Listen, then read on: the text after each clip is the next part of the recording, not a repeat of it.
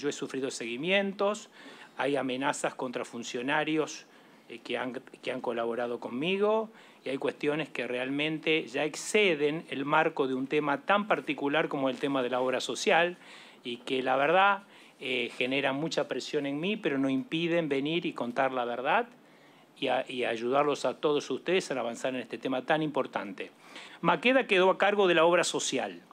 Una prueba clara de ello es que todos los directores los eligió el doctor Maqueda y nunca hubo concurso. Por eso, y dado los resultados que saltaron a la vista cuando el doctor Maqueda se retiró, es que el doctor Lorenzetti hizo una disidencia pidiendo que se concursen los cargos de directores y no se vuelva a incurrir en el mismo error.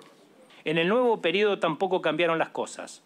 El directorio lo propuso el doctor Rosati. Los empleados se designaron a propuesta del doctor Altave. Los auditores para controlarlos designó la Corte. Yo me opuse a eso porque bajo la apariencia de una transparencia hay un control de hecho. Hoy las amenazas que tengo, porque son amenazas, y la verdad que eh, no es nada grato, eh, pero igual eh, me debo a ustedes y lo, voy a, y lo voy a contestar porque no tiene nada que ver con ustedes, no es una cuestión política es una cuestión interna en donde seguramente hay gente que no le conviene que esto cambie. Pero creo que si esto no cambia, eh, esto va a seguir lo mismo dentro de 10 años. No se quería recibir el informe 4. Entonces, eh, un poco lo mandé de prepo, esa fue la verdad.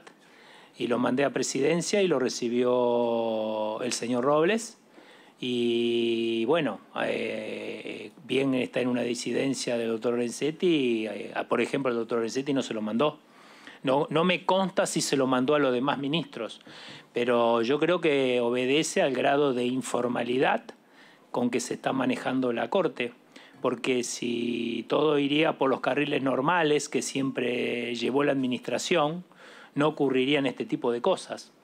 Y yo creo que eh, el traslado que han hecho de mí luego de mostrarles cómo es la administración, obedece al informe 4. Yo creo que en el informe 4 está la, la, punta del ovillo porque involucra al doctor Altave. Y el doctor Altave, no por el doctor Altave, pero fue propuesto por Rosati.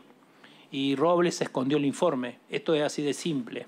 No, por más las amenazas que tengo, yo lo voy a decir. Y, y es grave porque esto le hace mucho mal a la democracia.